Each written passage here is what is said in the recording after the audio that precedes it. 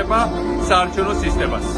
ივანიშვილის სისტემა ქართული ხალხის წინააღმდეგობის და უცხოელების გამო დატორტმანდა და ჩვენის ბოლომდე უნდა წავაქციოთ. ძალიან მნიშვნელოვანია ჩვენი პოლიტპატიმრების ნაწილის გამოსვლა და აუცილებლად უნდა გათავისუფლდეს გიგი უგულავა და სხვა პოლიტპატიმრები.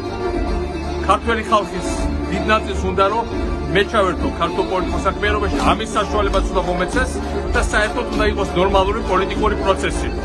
იდეალურ საარჩევნო სისტემას ახლა ვერ მივიღებ, მაგრამ არჩევნების შემდეგ სადაც ივანიშვილი აუცილებლად დამარცხება, უბრალოდ გავანგრევ დავანგრევ მის ოცნებას და ქართული ხალხი გამარჯოს, მე რა თქმა უნდა შეიძლება მიღება ბევრად უკეთეს საარჩევნო სისტემისაც.